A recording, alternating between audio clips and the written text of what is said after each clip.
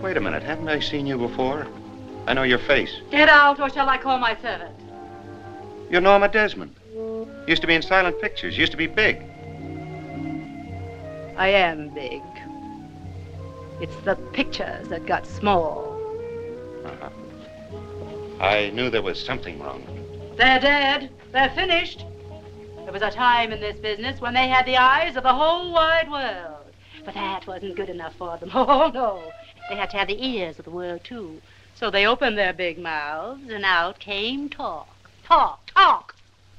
That's where the popcorn business comes in. You buy yourself a bag and plug up your ears. Look at them in the front offices. The masterminds.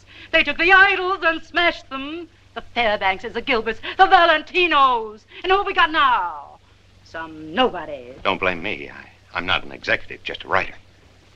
You are. Writing words, words, more words. Well, you've made a rope of words and strangled this business. but there's a microphone right there to catch the last gurgles. And Technicolor to photograph the red swollen tongue. You wake up the monkey. Get out! Max! Next time I'll bring my autograph album along. Or maybe a hunk of cement and ask for your footprint.